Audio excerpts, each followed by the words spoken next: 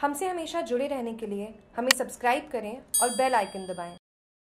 विधायक आगरे ने भाजपा कार्यकर्ताओं की ली बैठक सोजत रोड के बगड़ी नगर के भाजपा की बगड़ी मंडल भाजपा कार्यकर्ताओं की बैठक सोजत रोड विधायक संजना आगरे की अध्यक्षता में संपन्न हुई, जिसमें भाजपा विधायिका के कार्यशैली से प्रभावित होकर कांग्रेस के 10 सदस्यों ने भाजपा की सदस्यता ग्रहण की कांग्रेस के दीपक भट्ट, शांतिलाल अडीवाल, गोविंद अडीवाल, सताल मोहम्मद गफार भाई खलील आदि ने बीजेपी ज्वाइन की।